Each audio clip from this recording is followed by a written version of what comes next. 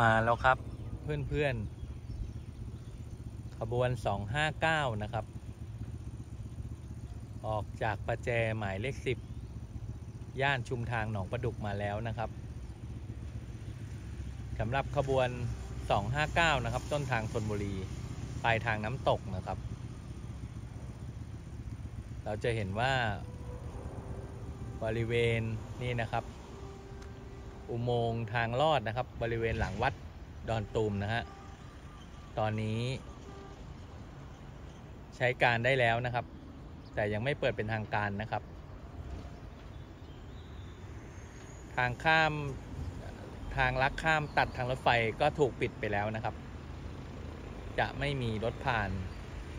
บริเวณทางรถไฟจุดนี้แล้วนะฮะ นี่เราดูนะฮะ มีมอเตอร์ไซค์มานะครับ มอเตอร์ไซค์จะลอด ใต้ทางรถไฟมาแล้วนะครับ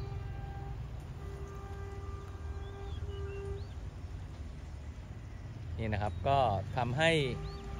ความปลอดภัยของประชาชนที่ใช้เส้นทางนะครับนี่นะครับ ปลอดภัยนะครับ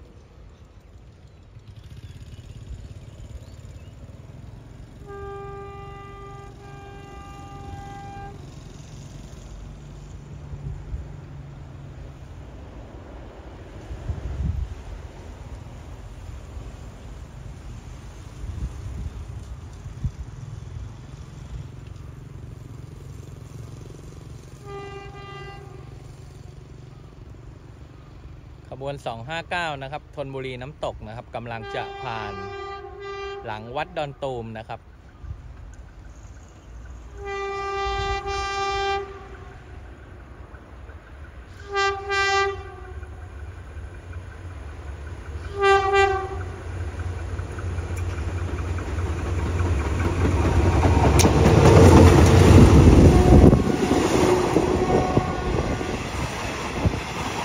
นี่นะครับแยก ขวาออกจากทางประธานนะครับ เพื่อเข้าสู่รถไฟสายตะวันตกนะครับ